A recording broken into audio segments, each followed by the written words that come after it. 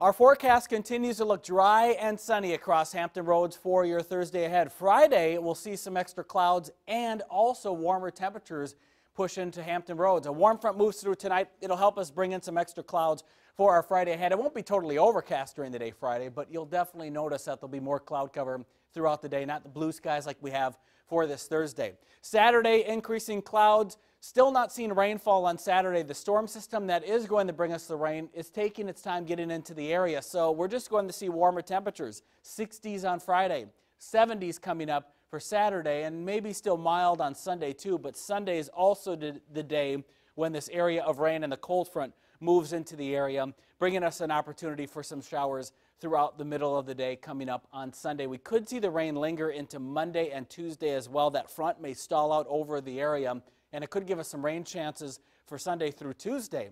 But temperatures, though, cool today and then warming up for the rest of the seven day.